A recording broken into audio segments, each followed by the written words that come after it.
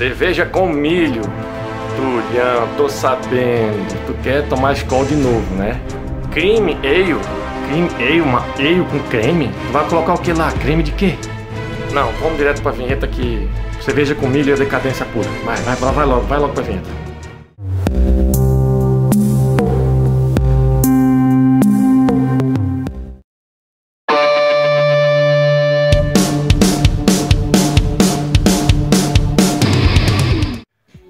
Bem-vindos novamente ao canal Pertulhão. Dessa vez vai fazer uma cerveja com milho, gente. Milho? Não, pelo amor de Deus, que decadência. Vai botar milho agora na cerveja? O negócio não é ser puro malte, puro malte, tem que ser puro malte. Não, gente, esse negócio puro malte é, isso é besteira. Tem que ser cerveja boa, não importa o ingrediente. Cada estilo tem seus ingredientes. Por exemplo, a gente vai fazer uma cream ale. Cream ale, geralmente ela vai com flocão de milho. Essa é a característica principal dessa cerveja. E como é que é a cerveja? A cerveja é uma cerveja leve, cerveja churrascão. É como se fosse uma lager americana, só que não é fermento lager, é fermento ale.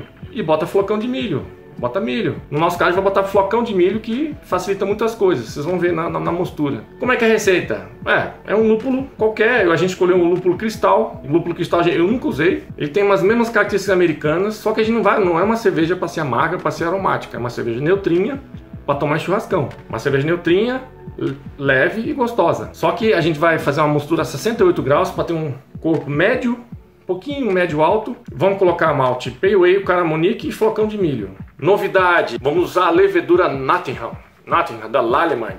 Vamos sair um pouco da Ferment, vamos sair um pouco da Levtech. Vamos fazer uma marca diferente aí. Vamos ver como é que gosto que ela vai ficar no final. Na teoria, essa levedura Nottingham, ela pode trabalhar entre 10 graus e 20 4 graus, se não me engano. Depois eu boto aqui na legenda os dados corretos. É uma levedura ale muito assim polivalente. Ela pode fazer um, como se fosse uma fake lager se você fermentar a 10 graus, ou uma ale bem frutada se você fermentar com uma temperatura maior. A gente vai fermentar mais ou menos na metade, em 20 graus. Vamos ver se a gente essa cerveja é para ser neutra, não tem que ter extra de levedura, não tem que ter gosto de levedura. Vamos ver se a gente mantém uma cerveja neutra, fermentação neutra. Então eu estou chutando 20 graus, que é mais ou menos a metade do, do, do, do intervalo dela. Eu também não quero uma coisa muito neutra, eu quero uma coisa com gosto, né? Então, gente, olha a receita, vê, vamos ver como é que vai ficar no final. Daqui a pouco eu comento. Não se esqueça de assinar o canal, de, é, de bater o sininho para as notificações e comente qualquer dúvida, qualquer coisa, eu tô aqui, aqui para responder. Por favor, façam isso, que eu quero ajudar esse meio cervejeiro, todo mundo fazer cerveja em casa e beber cerveja boa, fazer beber cerveja boa. Vamos lá para a receita, até depois.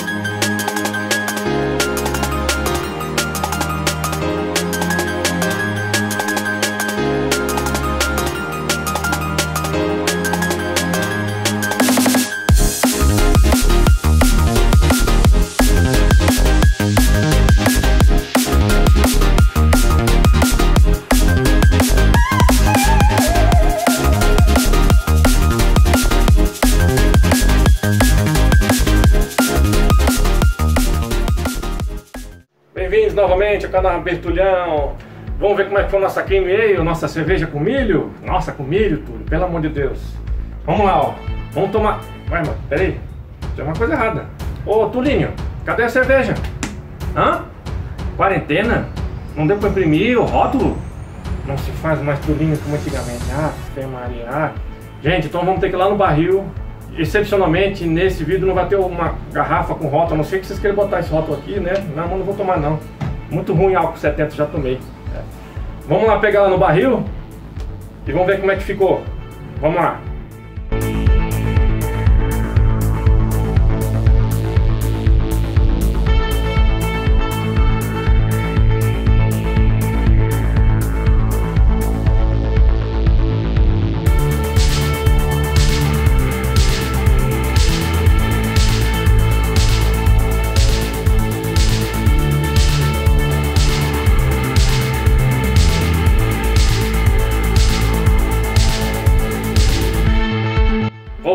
Gente, aqui está nossa meio, nossa cerveja com flocão de milho.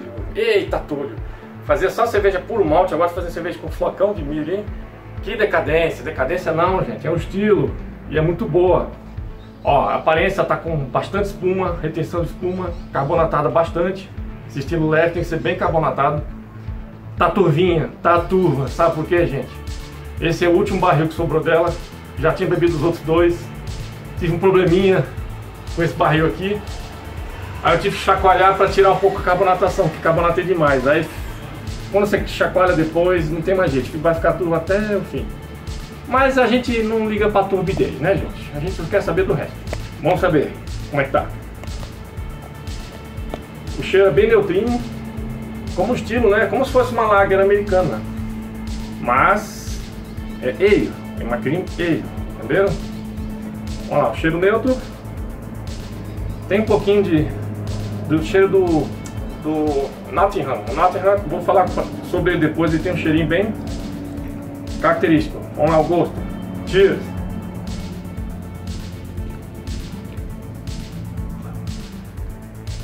Com a marguinha. A presença do lúpulo cristal ficou bem, bem marcante. Ela está encorpada, está com corpo médio para médio alto, viu? Isso foi 68 graus né, de, de misturação. E, e, o gosto do Nottingham, como ele foi é, fermentado a 20 graus, está bem presente. assim. É um, é um, frutado diferente, vamos dizer assim. É um frutado como se fosse um, uma carambola, mas um pouquinho só de carambola. assim. É uma cerveja de churrascão, mas um pouquinho mais encorpada. Tá uma delícia. Né? Fazer o que, né? Aqui, ó, com flocão de milho. Você não, você não sente gosto de cheiro de milho, gente. Isso aqui sente cheiro de cerveja boa né? Ó, não é a Tulinho tá concordando lá atrás. Então vamos fazer as considerações dela, ó. Vamos deixar ela aqui, bonitinha. E vamos fazer as considerações. Então, gente, ó, não tem essa, não, não tenho medo, faça um cerveja com flocão de milho. Dependendo do estilo, exige, né? A cream exige flocão de milho. Aí no caso, por exemplo, a Summer Ale que a gente fez, que vai ser é um outro vídeo, a gente colocou aveia só. São todas cervejas leves de churrascão. Passar um pouco do negócio de lager, né? Lager, lager, lager tem muito no, no, no mercado já. Que não é bem lager, né? E é uma cerveja rápida de fazer. É uma ale, né? Duas semanas tá pronto, até menos. O que, que a gente vai fazer para mudar aqui? Ó, como não tem rótulo, eu vou falar. O IBU dela ficou 20. O Amagô, né? Ficou legalzinho, 20. O álcool ficou 5%. E a cor ficou essa aqui, né? Tá meio turvinha, mas isso aqui é 10 EBC, para vocês não sabem, isso aqui é 10 EBC, tá? No vídeo não sei como é que vai estar. Tá. O que, que a gente pode fazer para melhorar? Sempre, sempre a gente pode melhorar, né? Com exceção da Red Ale, da que a gente fez na outra vez, não precisava melhorar nada. Agora essa aqui precisa melhorar sempre. Vamos lá. Eu mudaria a levedura, botaria uma levedura mais neutra, como o S05 da Fermentes. Ou então fermentaria com uma temperatura, temperatura mais baixa. Usaria essa Nottingham, mas eu fermentaria em vez de 20 graus, Fermenta na, na mínima da, da, da que acho que é 16, por aí, 16 graus, alguma coisa assim. Ela ficou um pouquinho amarga demais pro estilo. Eu pesei um pouquinho no, no lúpulo cristal que eu queria conhecer. Era muito bom esse lúpulo, bem dá um amargor bom, se você colocar demais, né? E tem um pouco alface. Mas a relação do amargor, que é IBU, com a, com a densidade inicial, que é a, que é a SG que fala, a relação IBU-SG, No caso aqui ficou 0,41, ficou um pouquinho pesado para esse estilo. Esse estilo tem que ser 0,36. É pouca coisa? É pouca coisa. Mas dá uma diferença depois no resultado final. Fica um pouquinho amarga pro estilo. Não que eu esteja reclamando, eu gosto cerveja amarga. Né? Importante dizer também que eu, na mostura, eu baixei o pH para 5,3. Taquei ácido lático até baixar. Tá aos poucos, né, gente? Tem que botar aos poucos, medir o pH, botar de novo, medir o pH. Por quê? Cervejas leves, é bom você botar um pH de 5,3. Uma cerveja mais forte, como uma cerveja Porter, uma, uma Stout, uma, uma Ice Red, você bota pH 5,6. Pode passar um pouquinho também. Porque quanto maior o pH, mais encorpada fica a cerveja. Menor o pH, mais leve ela fica. E como a gente fez a mostura a 68 graus, já é um corpo médio, médio alto, tive que fazer uma, uma compensação no pH, diminuiu para 5,3 para fazer um corpo médio mesmo, entendeu? Ela está com um corpo bem legal, uma cerveja básica, né? Ela tá com um corpo bem legal. Ela tá turva, como eu falei, por causa daquele problema que eu tive. A outra versão, eu vou mostrar uma foto aqui no final, ela vai estar tá bem clara. Vocês vão ver que tá bem clarinha, bem translúcida. É isso aí, gente. Tirando a, a levedura que eu fiz um pouco alta, é, temperatura alta demais e ficou um pouquinho frutado dela. O frutado dela é tipo uma carambola, meio seca. Não é ruim, mas é estranho. Pro meu gosto, né? Mas tá muito boa essa cerveja, tá bem equilibrada.